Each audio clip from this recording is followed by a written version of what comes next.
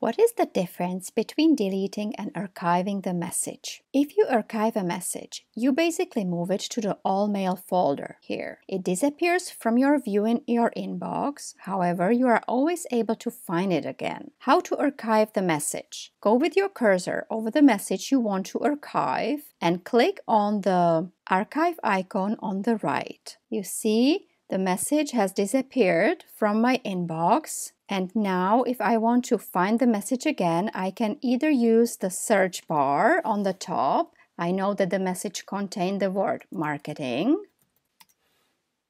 And here we go. The message is here. Or you go to all mail and you can see that the message has been moved in here. To move message back to your inbox, simply open it, go to the move to inbox icon at the top, click on that. And now when I open my inbox, you can see the message has returned to my inbox. If you want to delete the message, go to the bin at the top, click on that, and your message has been deleted.